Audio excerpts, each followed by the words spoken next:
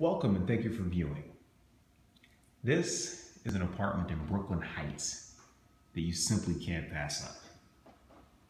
It has a washer dryer right here where you can do your laundry in this nifty invention, washer dryer combo from the comfort of your own home.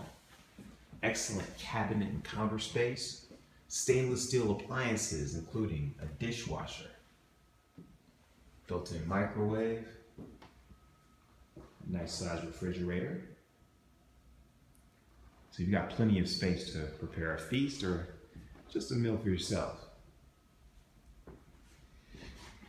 This area where you have your living and sleeping area in this studio apartment is actually easily converted into a one bedroom because You've got 24 and 3 quarters by 10 and 3 quarters feet of space.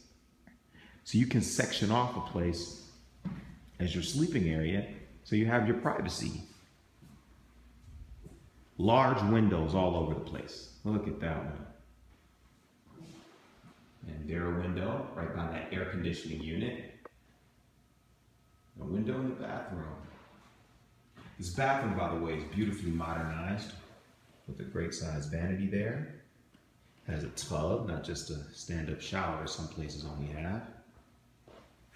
This whole apartment is wonderfully renovated. It's in an elevator building as well.